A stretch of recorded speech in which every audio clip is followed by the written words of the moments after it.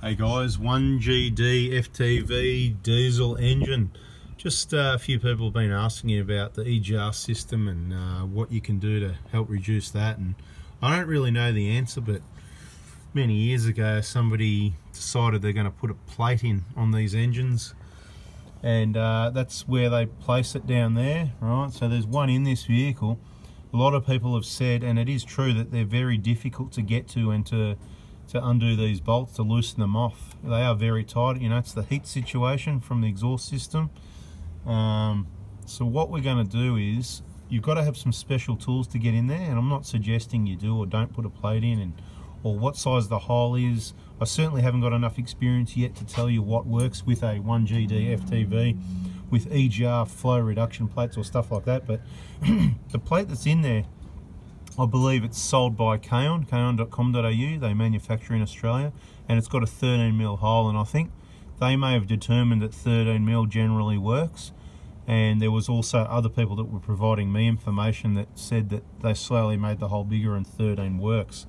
Um, what I will say is, a couple of times I've had an engine light on my vehicle, and that's sort of, uh, I'm sort of thinking maybe, you know, a bit of off-road use only testing, it may have been what caused, you know, engine light P0400 once or twice, but um, we did expensive, extensive testing, oh, off-road of course, you know, private property, and I've got to say it's 99 point something percent no problem, but there's always a possibility of having that issue. So if you're going to put one in there, I highly recommend you've got some sort of scan tool or once again, that auto fix 3210 for, from Trevor Ryan, Dirt Road 4x4 in Werribee, Auto Fix Australia. Um, not just for to scan this, but uh, you know if you've got any other issues that you may have with technology.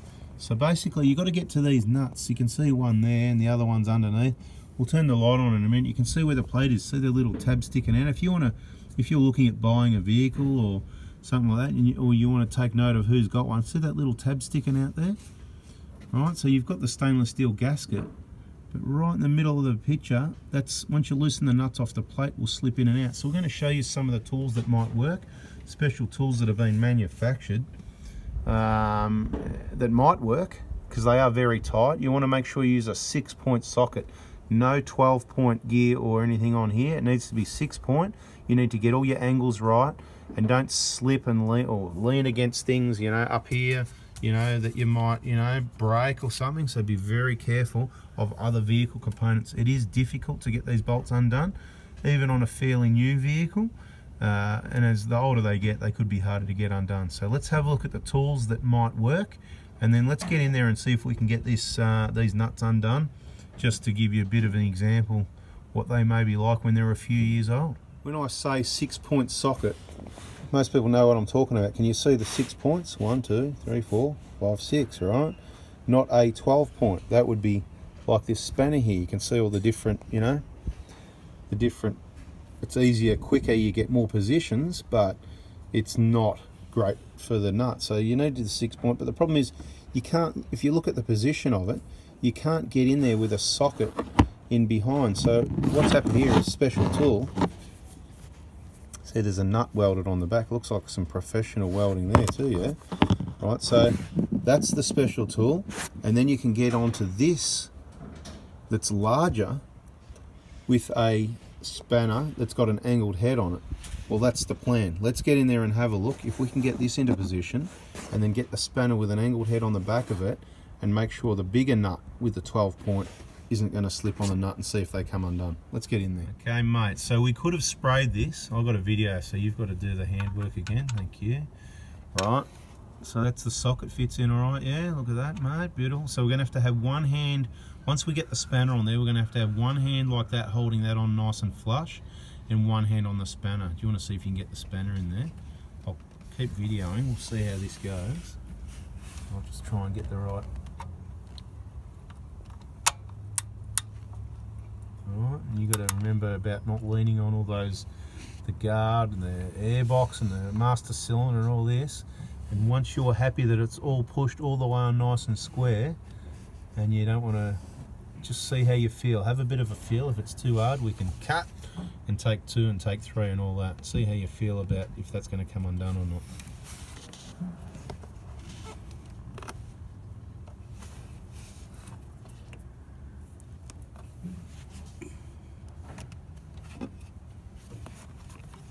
Get yourself comfortable before you go for it.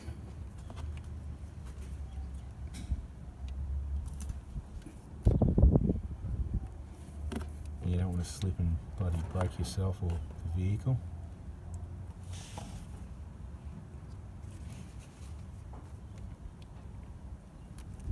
Tight, yeah.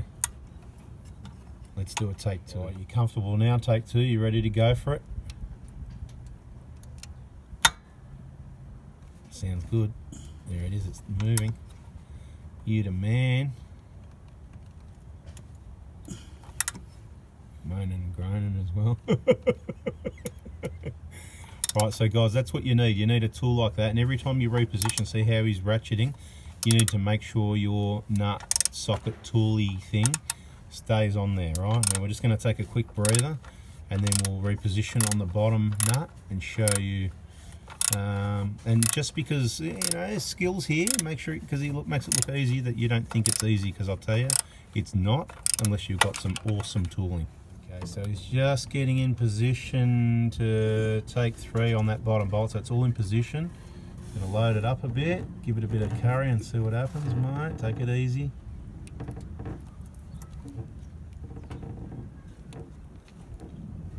Ooh, tight, huh? Yep. All right, we're gonna take a breather and have another look. He just wanted to get one more click and get it all repositioned. He's all happy. So we're on a take, what are we up to? Two, three, four, five, six, whatever it is anyway. Let's give it a crack and see what happens.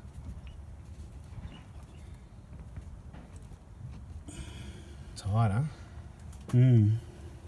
All right, here we go. Two hands, see what happens. Bit of a pressure and jerk.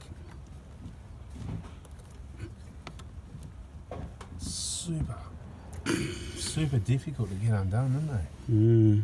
All right, let's get some spray onto it and see what happens, see if that helps. Okay, so we've got the uh, spanner on a slightly bigger angle, the one that's got an angle and an extra extension.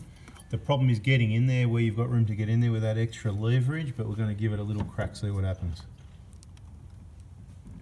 Get a lot of flex in those spanners too, so it's going to be a matter of sort of loading it up and giving it a bit of a bounce pressure, isn't it? Tight, isn't it? Mmm.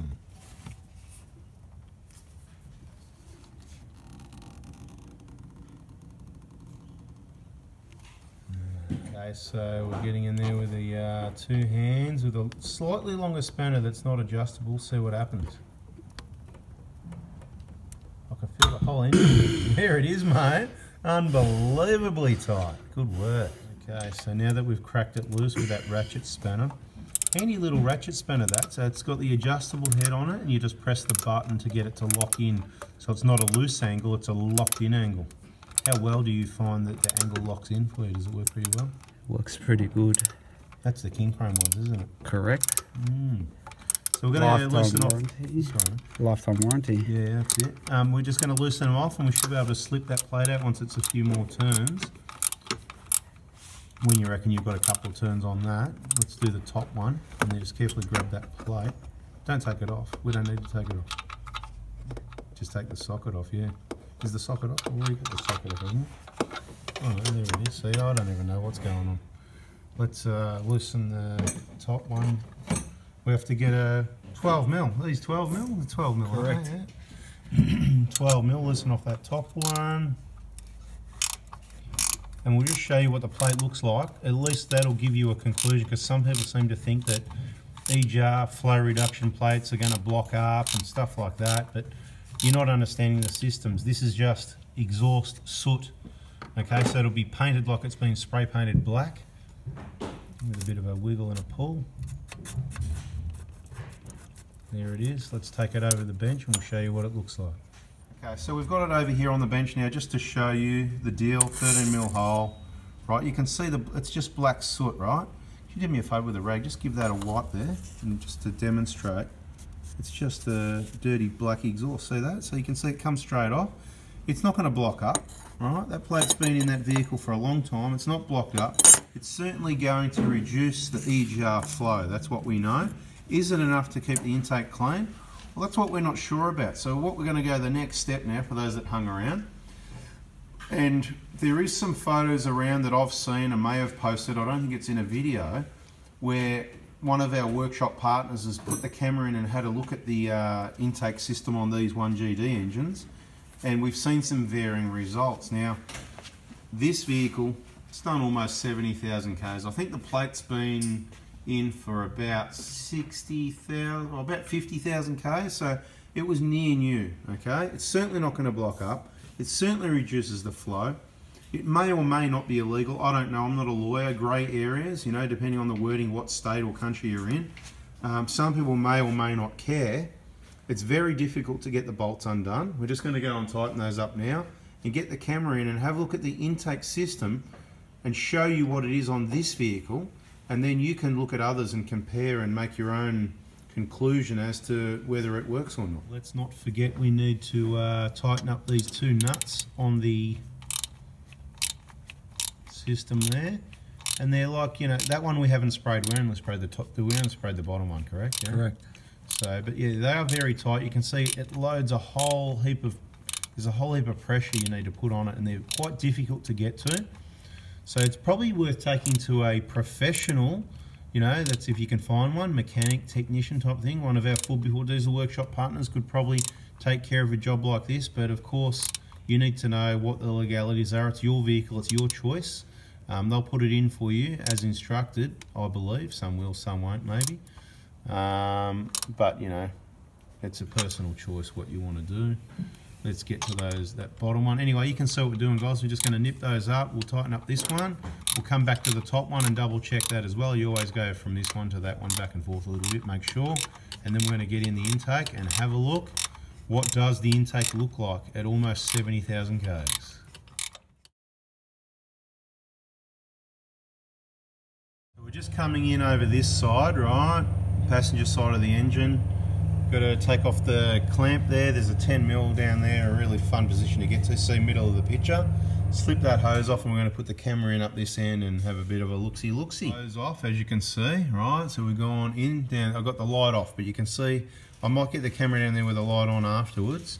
But at the moment, right, you can see what's going on. I've got the light off.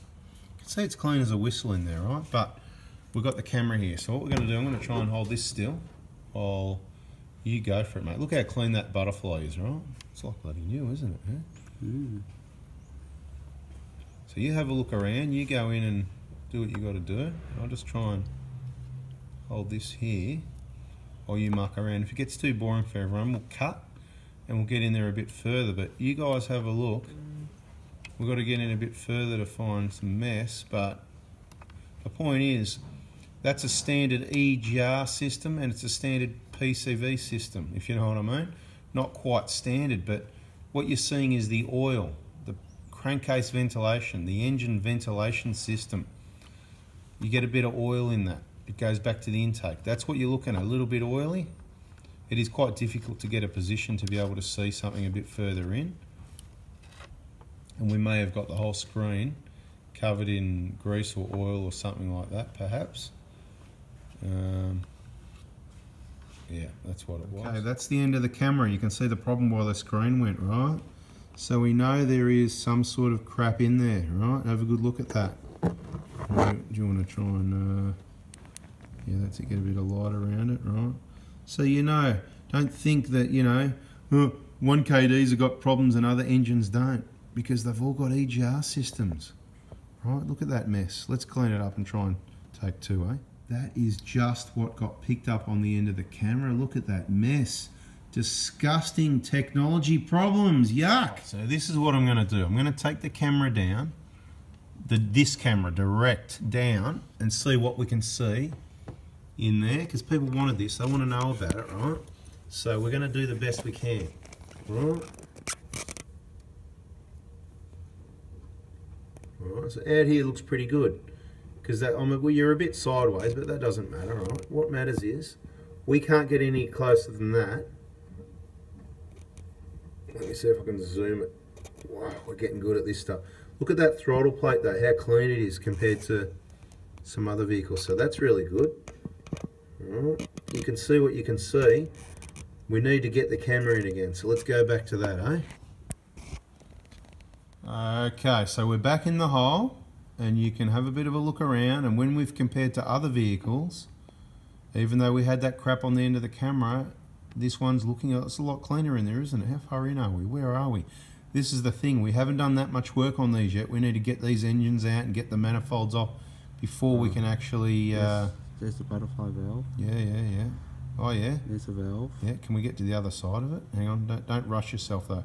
So that's one side of it, yeah. That's one of the, one side. We'd really love to see the other side. I know it's going to be difficult. So we need to go somehow get backwards and then get down. See me? I'm, I'm trying to twist the camera trying to get the angle right, but it's not working. Oh, okay. So it's quite difficult, guys, but what we're seeing so far, even though, there we go, he's getting under there. That's good work, mate. It's very clean compared to some others we've seen that haven't had a plate in there. We need to come back and angle it up and get it the underside of those. Mm. Yeah, it's quite funny. I'm here like trying to twist the camera, trying to get the angle, whatever. and it's not, it's not helping.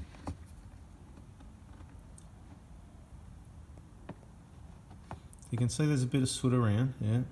We haven't seen any thick build up anywhere. Oh, just on the left of the picture there.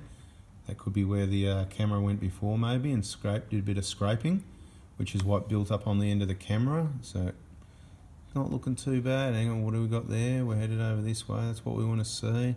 Bit of a twisting and pulling and There's the soot there. yeah. It's not deep thick though, I don't think. It's, hard only, to see. It's a few a little bit of wetness. There's a bit of oil sitting there. There's know. the scrape. Yeah, the scrape mark where the There's camera the went and pushed it, right? So that's why what looked like a lot, not really a lot, but it was scraping along pushing. So work your way slowly, head that way, and look a bloody. You a gynecologist in your previous life? the Yeah. ovarian cam. Could have been good practice. Any gynecologists out there that can give us a hand, you might have some better equipment. You can come in here and we'll get the hose off. Yeah, you can see the lump right on the end there. Yeah. I'm still not seeing anything thick, exciting build up yet, but there's enough there. It just looks yuck, doesn't it? Yeah, it's nothing thick. There's only a certain distance we can get in. There'll be other videos. Like always, subscribe, turn the bell on, give us a like button. We're trying to help you out with the information we've got at hand. Other makes and models, I can't tell you what plate, where to put it, whatever. I don't know. I don't know. I don't do that. I mean, you know, we We've only seen it on, we've seen it, we know there's hundreds, we've probably seen it on hundreds of cars, the 1KDs. We've seen a few of these, you know, I say a few, probably more than that. I'm try to be a bit modest where I can. Sorry in videos where I'm talking like, oh, look how good we are, and, you know, because I said so, you know, you get a bit of that. You know, I'm not the best or anything, I don't know everything, but, you know, sometimes I get a bit excited, a bit carried away. It's hard to get anywhere else but here, isn't it? So start pulling it out backwards slowly and see what happens, and maybe give it a twist. Should we give it a twist if possible? Maybe a bit of an in and out and a twist, and yeah, it's we're not really getting a lot, are we? Yeah. Anyway, we did what we can. If we get any good footage, I'll um, fire it up again. But if not, that's it, guys. Thanks for watching. Um, bada bing, bada boom. It could be bada boom. No, this is actually looking pretty good overall. So the plate with the 13 mm hole could work really well. You might, you know, you might get a P0400. You might not. That's a bit of an unknown one, especially as they get older and things aren't working quite right as they did when they were new. Uh, if you've got a 30 mil plate in and you did have P0400s, please let us know in the comments. Subscribe, bell on, like button. We're of here, guys. Thanks for watching. See you.